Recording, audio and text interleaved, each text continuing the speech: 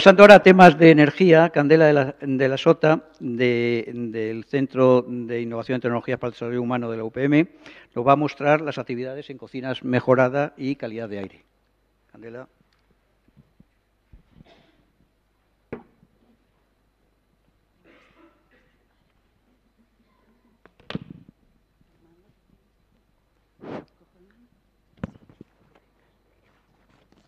Eh, Candela y Paloma, eh, de Ongawa.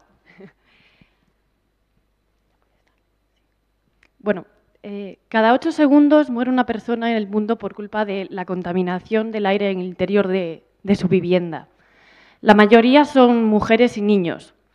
Esto significa un total de 4,3 millones de personas en el mundo, que es más que la suma de las muertes causadas por la malaria, la tuberculosis y el SIDA juntos sin quitar el mérito al trabajo de, los compañeros.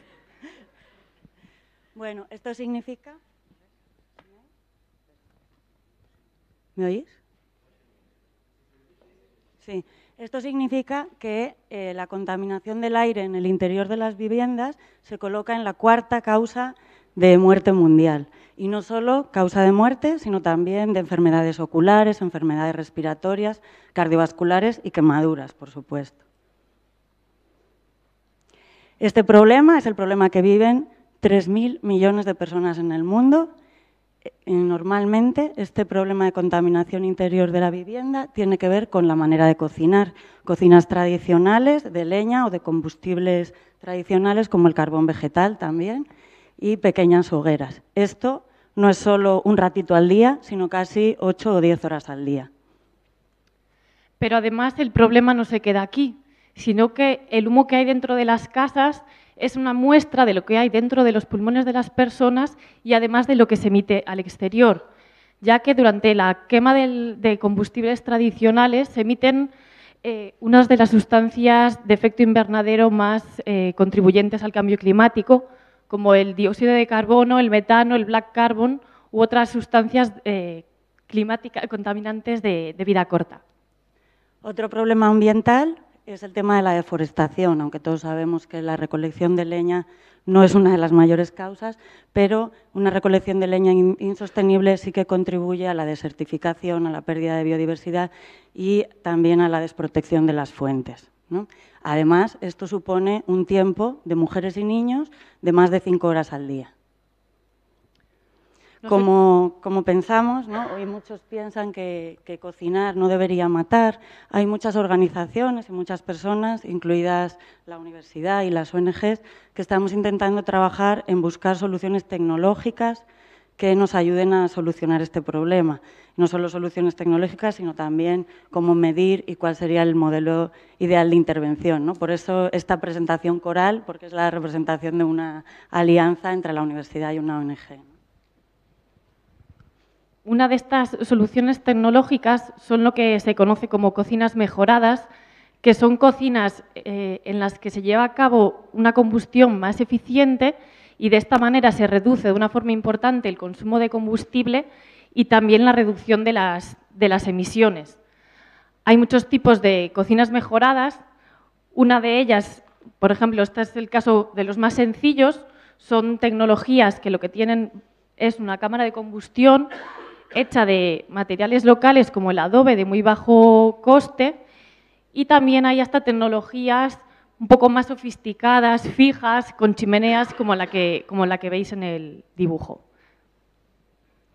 En el mundo ya hay instaladas 166 millones de cocinas mejoradas. Esto no significa ni que estén funcionando bien, ni que estén construidas tal cual deberían, ni que se estén usando tampoco. ¿no? Entonces, una de las principales barreras que hay para el uso de, esta tecnología, para su adopción, son barreras, por un lado, de cambio de hábitos, ¿verdad? es necesario un cambio de hábito más allá de la instalación de la cocina, relacionado con el corte de la leña más pequeña, la ventilación, el secado de la leña son cambios de hábito que llevan un tiempo ¿no? y un esfuerzo. Además, hay otro tipo de, barreras, por ejemplo, no hay una percepción del riesgo que supone para la salud. Eso es otro problema de los principales, una de las, dificultades para entrar. Hay barreras de género, como todos sabemos, en estos países y en comunidades rurales pobres hay una brecha de género y hay diferencias en el acceso y control de los recursos. No es lo mismo la persona que decide sobre las inversiones domésticas que la persona que tiene el problema doméstico. Además, no hay participación de la mujer en, ámbitos externos, pero tampoco en algo como el diseño de la, de la propia cocina. ¿no? Nos podemos extender mucho en las barreras, pero también vale la pena hablar de las soluciones. Otro de, las, de los problemas es que no hay a lo mejor en estas comunidades eh, un mercado que no sea un mercado pobre o un mercado aislado y tampoco hay un fomento del emprendimiento. ¿no? Estás hablando de situaciones aisladas y de situaciones de pobreza extrema. Por otro lado, el tema de la asequibilidad y del mantenimiento. Una persona no puede invertir en una cocina quitándose dinero de salud, educación o alimentación. Bueno, al igual que hay muchas barreras, hay muchas soluciones, pero como tenemos un minuto, pues quedarnos con dos. La principal de las lecciones aprendidas en, en, todos estos años de implementación de cocinas y de la mayoría de los casos fallidos es que no, podemos implementar la tecnología solamente, sino que esto se tiene que integrar dentro de soluciones mucho más integradoras que incluyan temas de emprendimiento, de promoción de la salud, de promoción del medio ambiente y del saneamiento integral de, de los hogares. Y también, por otra parte, que es muy importante, si queremos que estas tecnologías se acepten y se adopten de una forma sostenible, es eh, que éstas adapten a las necesidades eh, de las personas que las usan.